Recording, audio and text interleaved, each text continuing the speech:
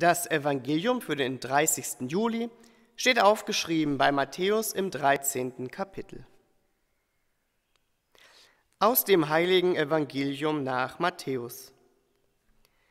In jener Zeit sprach Jesus zu der Menge, mit dem Himmelreich ist es wie mit einem Netz, das man ins Meer warf, um Fische aller Art zu fangen.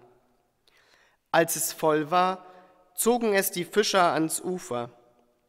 Sie setzten sich, lasen die guten Fische aus und legten sie in Körbe, die schlechten aber warfen sie weg. So wird es auch am Ende der Welt sein. Die Engel werden kommen und die Bösen von den Gerechten trennen und in den Ofen werfen, in dem das Feuer brennt. Dort werden sie heulen und mit den Zähnen knirschen. Habt ihr das alle verstanden? Sie antworteten, ja.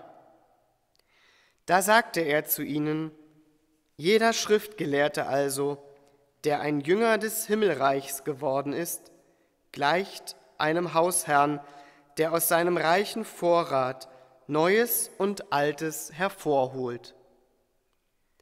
Frohe Botschaft unseres Herrn Jesus Christus.